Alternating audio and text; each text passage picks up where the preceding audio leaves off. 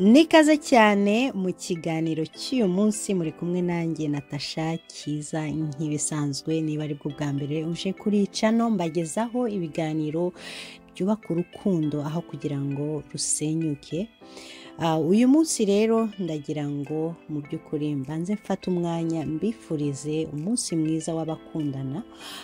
Wowe umaranye igihe n'umukunzi wawe wowe murimo muratangirana uyu munsi cyangwa se mu minsi mikeya ishize. Mbifurije ibihe byiza cyane muri makeya mugubwe neza kuri uyu munsi w'abakundanye. Uyu munsi rero ndashaka kugira ngo nsubize ikibazo kigenda kigaruka kenshi cyane ku bakobwa bahora bambaza bati ese ni gute twamenya mu by'ukuri ijana ku ijana tudashidikanyije tutibeshye uburyo umusore yinjira mu rukundo uburyo umusore agukunda by'ukuri bitarimo uburyarya cyangwa se bitarimo imitego ejo cyangwa ejo bundi utazicuza? Mbafitiye ibimenyetso bitanu by'ukuri bizaguhamiriza ijana ku ijana y'uko uyu musore niba koko agufiteho gahunda. Kuko ni kenshi duta umwanya ni kenshi duhura n'imitego myinshi mu rugendo rw'urukundo ariko kugira ngo uzivane muri uwo mutego birakugora cyane. So ibi bintu bitanu muri makeya ni ibintu bigenda bigaragara cyane mu myifatire y'abantu.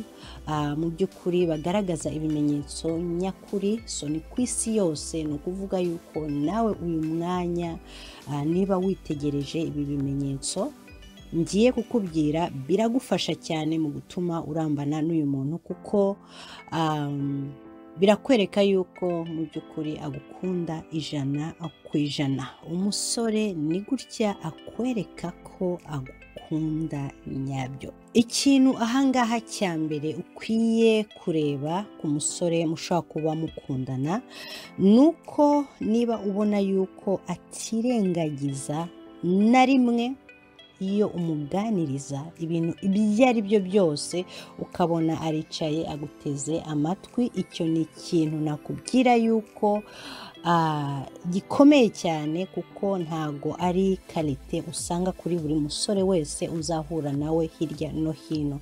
So iyo wabonye yuko muri we atirengagiza kugutega amatwi mu gihe umwegereye mu gihe umubwira ibintu ibyo ari byo byose ubuzima bwawe bwose cyangwa se ibintu wahuye na byo cyangwa se ibintu ushaka kugira ngo muganireho biri seriye you know, ukabona afashe umwanya we aguteze amatwi icyo ni ikimenyetso kiguhamiriza yuko uyu musore atandukanye n'abandi. So iyo ni karite nziza ukwiye kwitegereza. Mu gihe ubona yuko umubwira ikintu ukabona umusore muri makeya arahuze cyane cyangwa se akumye n'uwo mwanya haba no kuri kuganira niba anaguhamagaye araguhamagaye kuko afite ibyo ashaka kugira ngo akubwire. Ariko wowe niba ufite icyo ushaka kugira ngo umubwire akenshi ugasanga ntabwo agufitiye umwanya wo kugira ngo agutege amatwi akumve yumve ibyo umubwira ukabona muri we ashishikajwe kenshi no kuba ahari yakubwira. Wowe gusa ngo wumve. So akenshi ibyo azaba ari kukubwira kugira ngo wumve ni byo amatwi yawe ashobora kuba ashaka kugira ngo yumve ni byo azi neza yuko azakubwira kuko abifitiyemo inyungu ashaka kugira ngo azungukemo. Ndavuga wa musore udafite gahunda kuri wowe. Ariko ugufitiyeho gahunda muri makeya azafata umwanya wo gutega amatwi detaye kuri detaye buri kintu icyo ari cyo cyose uzabasha kuba wamubwira azagutega amatwi kandi aguhe feedback nziza cyane bitewe n'ibyo murimo muraganiraho. Yes icyo ni ikimenyetso cya mbere niba uri kukimubonaho kano kanya uwo ni umuntu kabisa wo kuba wagumana kano kanya. Hari ibimenyetso bindi hano ndavugaho. Icya kane n'icya gatanu byo niba utarimo urakibona kano kanya you are wasting your time my sister. So pay close attention. Ikintu cya kabiri ahangaha mu by'ukuri niba uyu muntu mumaranye reka tuvuge amezi atatu. Arahagije kugira ngo uzamenye umuntu ijana ku ijana. Ukaba ubona yuko uyu musore ari purawudi yawe ijana ku ijana. Uyu musore agukunda ahereye ku musatsi waba udefurije cyangwa se uri natirere cyangwa se you know, washyizemo kara izo ari zo zose you know, agukunda guhera kuri uwo musatsi guhera kugeza ku nzara zawe uko uri uko uteye uko wiyakira uko wumva kuri comfortable. Uyu musore akaba abirisipekitinga akabigukundira ibyo ngibyo ntabwo yaje mu buzima bwawe kugira ngo aguhindure yumve yuko ashaka ko uba nka monima cyangwa se ishusho yifuza afite mu bitekerezo aza akaguhindura kugira ngo ube uwo utari we. Ariko niba uyu musore akwakira nk'uko uri iki ni ikimenyetso muri makeya kidasanzwe kikwereka yuko afite urukundo nyakuri.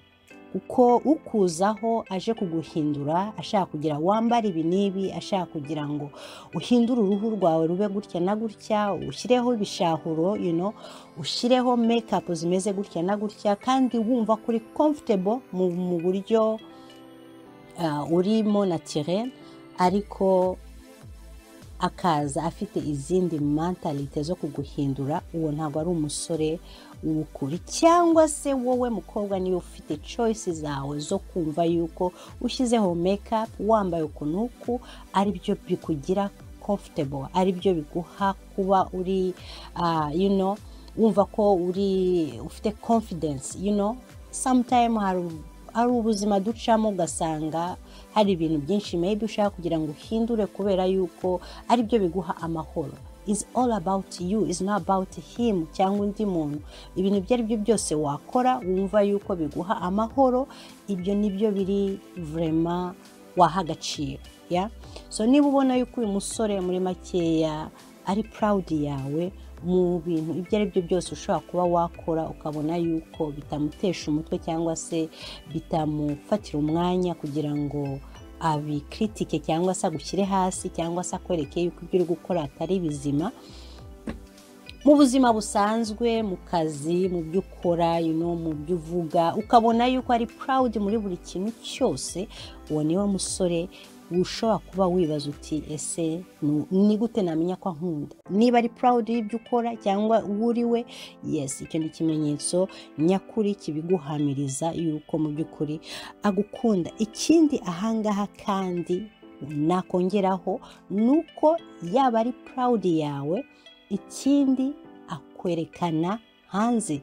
Azi yuko afite umuryango kandi ukeneye kumenya umuntu bashobora kuba bari kuganira nawe. Niba waragize amahirwe yo kuba umuryango we ukuzi cyangwa se inshuti ze za hafi bashiki be abantu abo ari bo bose ashobora kuba ari purawudi yabo akabakwereka ukaba waragize ayo mahirwe ugahura nabo gayizi uwo ni wo musore ugukunda by'ukuri. Kuko umusore utagukunda akwima ayo mahirwe kuba yakwerekana kuko akenshi hari igihe baza bafite tageti yamara kuyigeraho yuno ibintu byose bikayonga bikarangira nta wundi mwanya aba agufitiye. Ariko niba ubona yuko akwerekana mu muryango we akwerekana mu nshuti ze ni uko afite ikintu ashaka kugira ngo agereho. Yes icyo ni ikindi kimenyetso muri makeya ukwiye kureba niba ufite gushidikanya uvuga uti ese arankunda cyangwa se ntago ankunda?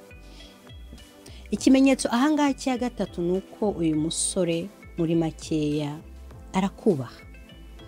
Arakubaha hahandi atashobora guhagarara ngo abone yuko hari umuntu ukubahutse ugututse cyangwa se ugufashe mu bundi buryo muri makeya byamubangamira muri makeya arakubaha ijana ku ijana kandi akakubahisha aho uciye hose. Ikindi ahangaha uyu musore ubona yuko ashobora kuba yahungabana mu gihe eta yawe y'ubuzima bwawe bushobora kuba butameze neza yuno urarwaye cyangwa se ufite ibibazo runaka yuno akwereka yuko muri makeya adashaka kukubona muri situwasiyo itameze neza. So ubuzima bwawe ubona yuko abupengaho attention umunsi ku wundi amakinga sure yuko uri safe you know mu byo ucamo mu byo ukora byose akamakinga sure yuko ntago uri muri danje habe na gatoya ikindi ahangaha uyu musore ikizamuranga guys mugomba gupenga close attention cyane wa mwari we wa mukobwa we. Niba umusore yakubahutse mu gihe murimo muraganira ku mezi ya mbere ya kabiri ya gatatu umusore agatinyuka akagutuka akazamura ijwi cyangwa se akakubahuka uyu musore umenye yuko niba ubibona kano kanya ubyitege yuko no mu minsi iri imbere iri kuza ni cyo kintu uzagenda uhura na cyo ubuzima bwawe bwose. So ni ukumekinga shuwa uti ese uyu muntu koko aranyubaha? Ese uyu muntu koko nta mahane agira? Uyu muntu ntago mu by'ukuri afite amahane yo kunkubita. Niba ukubitwa kano kanya ugomba kubyitega yuko ntabwo ari ikintu kiza kizarangirira kano kanya ni ikintu kizagenda kigaruka kenshi gashoboka. So pay attention.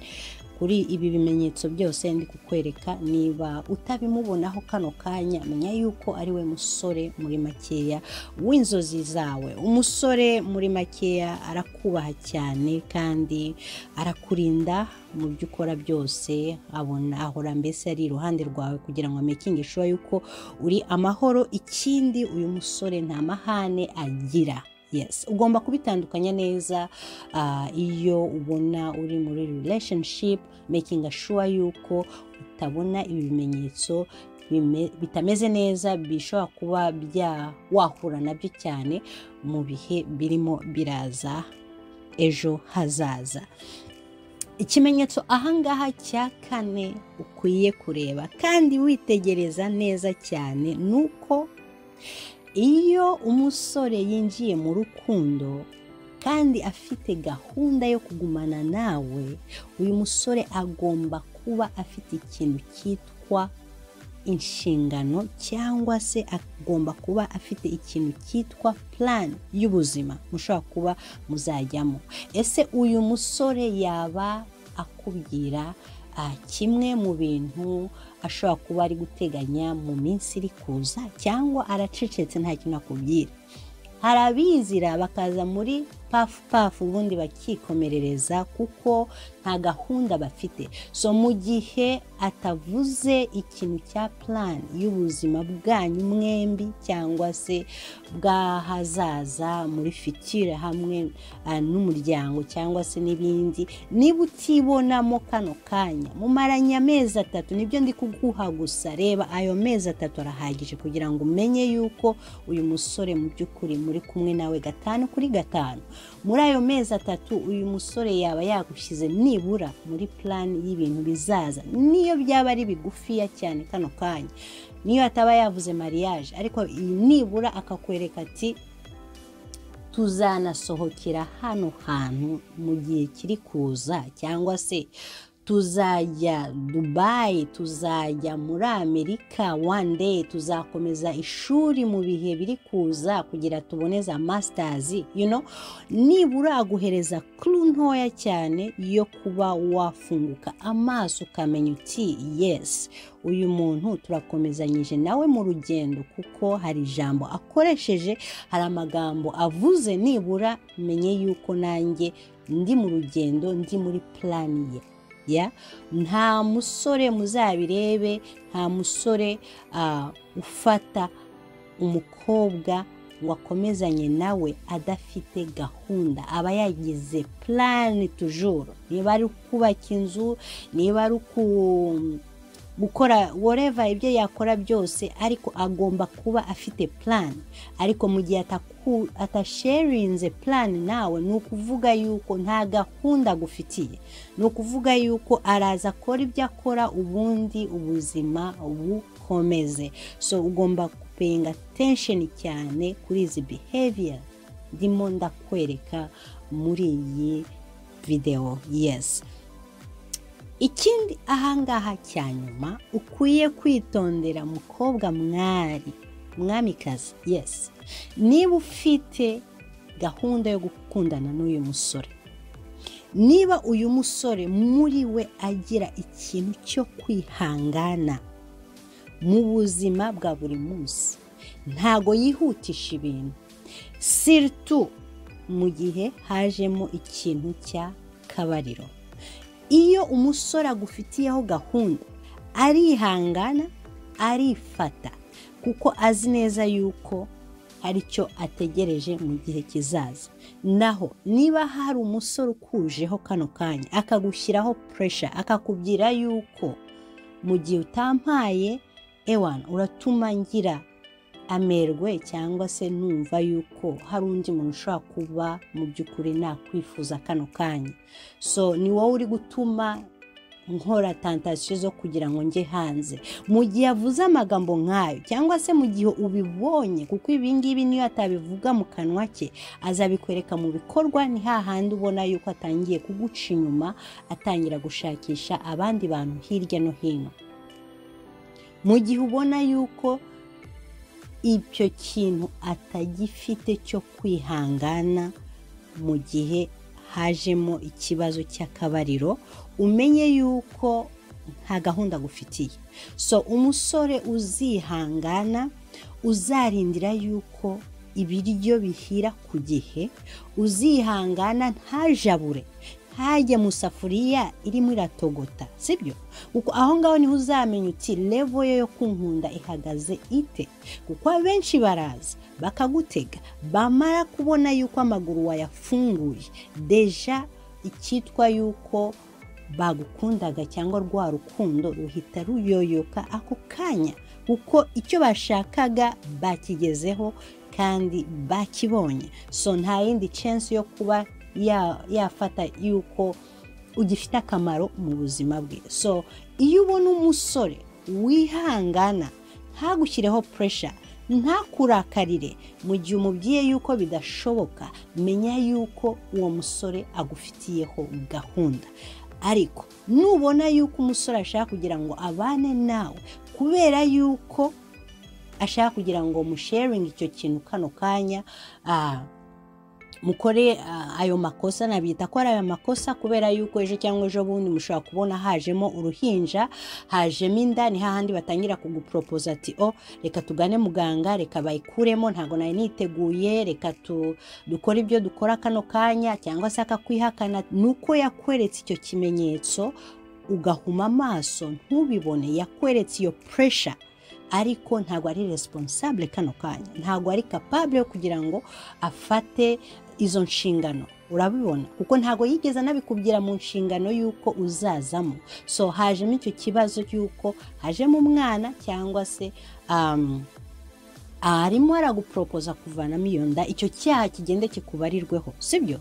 We akagenda ari umwere. So ugomba gufunguka amaso ijana ku ijana ukamekinga shuwa uti ese koko? Uyu muntu uri kunshyiraho iyi puresha kuko yaba ankunda yaba afiteho gahunda? No aho ngaho kabisa ugomba kumuhakanira ukamubwira uti niba utagize ukwihangana cyangwa se utafite uko kuba twategereza muri makeya ndabona twakomeza ubuzima bwacu ukajya ugaca hano nanjye nkaca ahangaha yesi guys. Ndabakunda cyane niyo mpamvu ngerageza kubaha izi tips kugira ngo muri makeya wowe mwari wowe mukobwa urebe kure cyane urebe uti ejo hazaza hanjye hameze hate ese kano kanya niyandaritse ese ejo cyangwa ejo bundi muri makeya ingaruka nzahura na zo ni izihe? Sibyo? Ugomba kubitekerezaho ibyo byose ariko ukamekinga shuwa uti choice yanjye ni ngewe ngomba kwifata kano kanya. Ngeze amahirwe yo kubona ibi bimenyetso ngiye kubigenderaho kugira ngo mfungure amaso ejo cyangwa ejo bundi ntazahura n'imitego. Kuko abasore beza barahari ijana ku ijana. Abasore bazihangana abasore bazakubaha abasore bazagutega amatwi abasore bazaba bari purawudi yawe ijana ku ijana. Bamekingi shuwa yuko nta kintu na kimwe gishobora kugusitaza cyatumurira you know? uri umutoni wabo. Ugomba kubimenya ko aba basore barahari.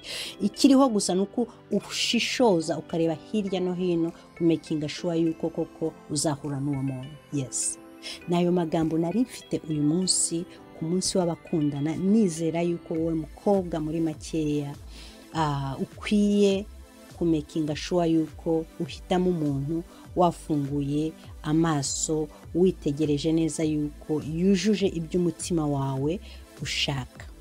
Mfite iyindi lisite ngiye kubategurira niba uyishaka. Nyandikira ijambo yego. Iyi lisite ni kwereka muri make noneho ibimenyetso nyabyo bikwereka yuko umusore muri kumwe atari uwo imana yaguteguriye kugira ngo ubane nawe sibyo? Maje kubereka ibimenyetso nyakuri ibi bimenyetso bitanu ukwiye kumurebaho mfite ibindi bimenyetso. Niba ubishaka bikwereka yuko noneho behavior ze zose cyangwa se imyifatire ye yose uraza kuyibona muri iyo videwo bikwereka yuko atari uwawe. So niba ukeneye iyo videwo nyandikira ijambo yego aho hasi nze kuguha ibyo bimenyetso. Nawe musore ni ubutaha nzabahereza ibikurikiraho ku byerekeye ku bakobwa. Kuko hano ndasharinga nza ku bakobwa ndetse nkaza no ku bahungu kuko ni bwo bumenyi mfite bwo kuba nareba ibimenyetso ku ruhande rw'abasore ndetse no ku ruhande rw'abakobwa. Yesi niba ukunze videwo y'uyu munsi purize purize sharinga iyi videwo kuko irakenewe cyane muri sosiyete kugira ngo abantu bafungure amaso. Kandi niba wayikunze wihe thumbs up ukore share kugira ngo ifashe n'abandi. Turi kumwe rero muri videwo y'ubutaha niba uyishaka aba ariyo ihita ikurikiraho hita unyandikira ijambo yego kugira ngo nguhereze ibyo bimenyetso byose. Naho ubutaha rero imana ibakomeze cyane aho muri hose. Cacawu babaye